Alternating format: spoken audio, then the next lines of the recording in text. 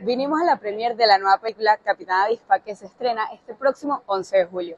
Estamos en Cines Unidos del Líder para verla. Acompáñanos. El próximo jueves 11 de julio será el estreno de la película Capitán Avispa en Venezuela. Desde ese día estará disponible en todos los cines a nivel nacional la creación de Juan Luis Guerra. El cantante escribió esta animación en 2019 y no fue hasta este año que logró que saliera a la gran pantalla.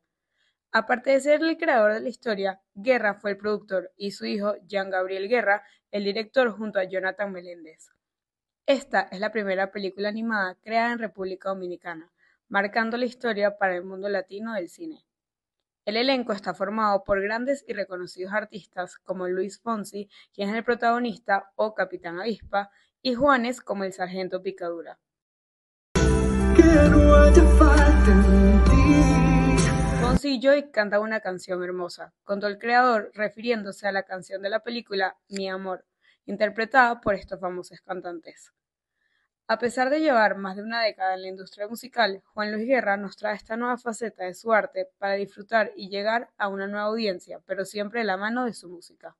Vamos con todo. Queremos que el Capitán Avispa sea el nuevo héroe dominicano y latino. Cuéntanos por qué invitarías a las personas a ver esta película. Bueno, Capitán Avispa es una película familiar, es infantil, una película maravillosa que de verdad tiene una animación tan chévere que no tiene nada que envidiarle a los grandes estudios.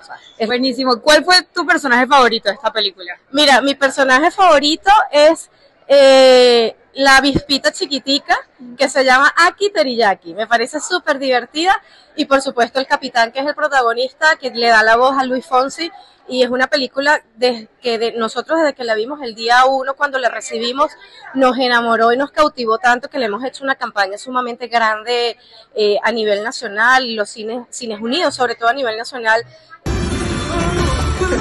Esto va a ser divertido.